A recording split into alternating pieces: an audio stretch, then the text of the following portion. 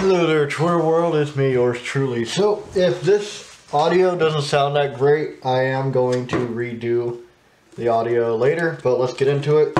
I'm going to show you how to disassemble the PAPR unit, uh, C420.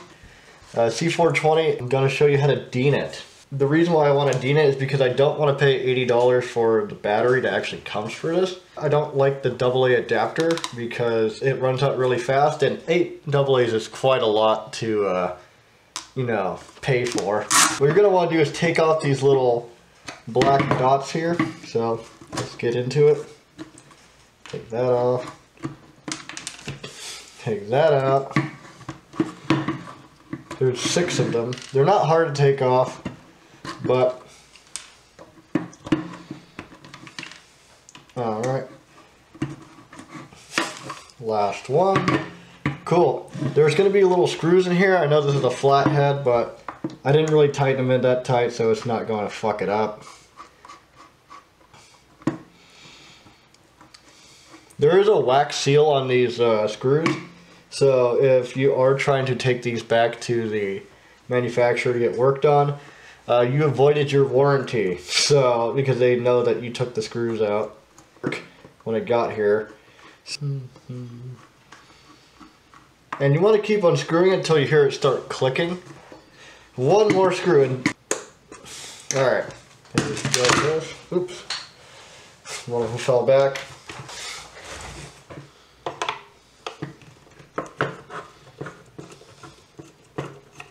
Cool. Just unscrew it, unscrew the battery cap, pry these rings out,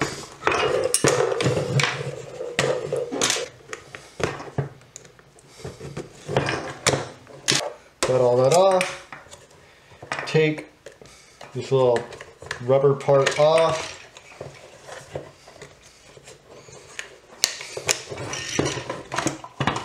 it comes out. So, just gonna cast this off to the side here. Yeah.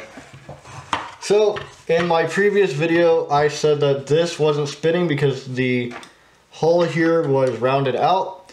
If you can see there, there is glue right there. I just uh, cracked open the base of this fan here and grabbed the fan, pulled it out, put some JB Weld in there, put it back in, closed it all up, and it works all good. It did smell like molten glue for a bit, but you know, there's that. So what you are going to want to do is get a Dremel and drill two holes so that you can route the wires through. I've already done this before, but I didn't do it with the holes. I just directly DIN to these connectors right here just to see if it would power on and work and not blow my fan up as soon as I plugged the battery into it.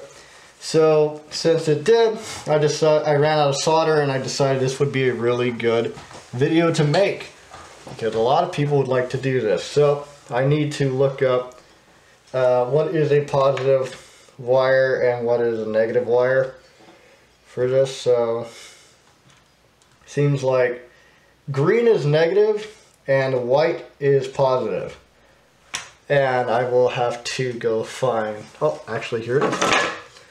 So the sideways Dean plug is a positive and the vertical sideways Dean plug, horizontal is positive, vertical is negative.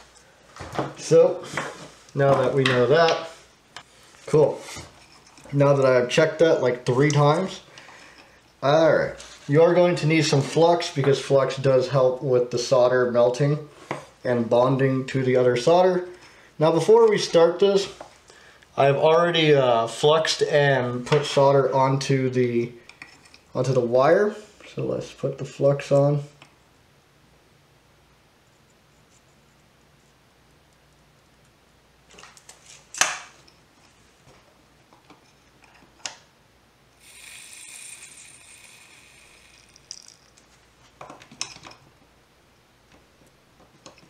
All right, so you want to really like tug on this for the next one.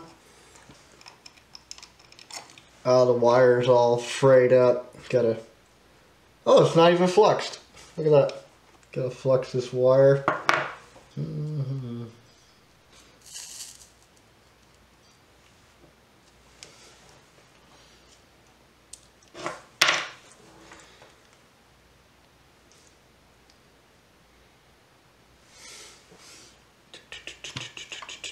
And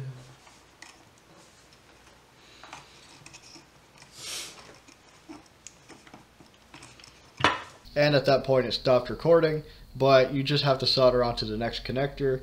But the next video I am going to show is the battery powering up the PAPR unit. I would suggest only using 7.4s. I haven't tried an 11.1, but I've noticed on setting 3 it does sound a bit weird and wonky. So keep it at 7.4s and you should be fine. Other than that, have fun not putting 8 AA batteries inside of your PAPR unit only to throw them away after two games of using it and uh, or paying for an $80 battery that you may or may not even find on eBay. But have fun.